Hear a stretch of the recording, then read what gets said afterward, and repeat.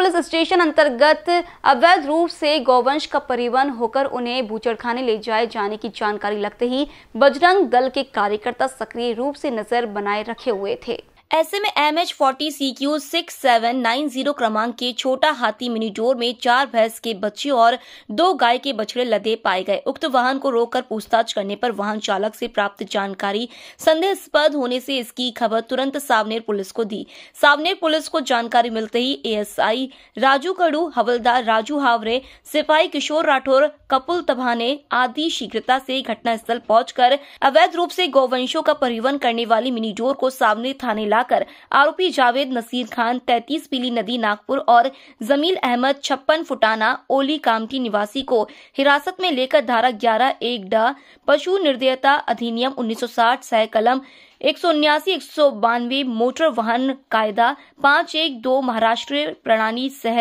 अधिनियम उन्नीस सौ पंचानवे के तहत मामला दर्ज कर प्रभारी थानेदार हिरेंद्र यादव के मार्गदर्शन में आगे की कार्रवाई की जा रही है। बजरंग दल के हिमांशु बटोले, वागोड़ा ग्राम पंचायत के सदस्य राकेश सूर्यवंशी, युवा समाज सेवी लारा खोरगड़े राम रतन गौतम नलवर्ठी धीरज प्रसाद शुभम कड़ाई सहित आदि की सतर्कता से छह गोवंश भूचर खाने कत्ल को जाने से उनके प्राण बचे। अंतिम समाचार लिखे जाने तक गोवंशों को गौशाला रवाना करने की प्रक्रिया जारी थी। इन बीसीएन न्यूज़ के लिए संवाददाता किशोर ढूंढेले की रिपोर्ट।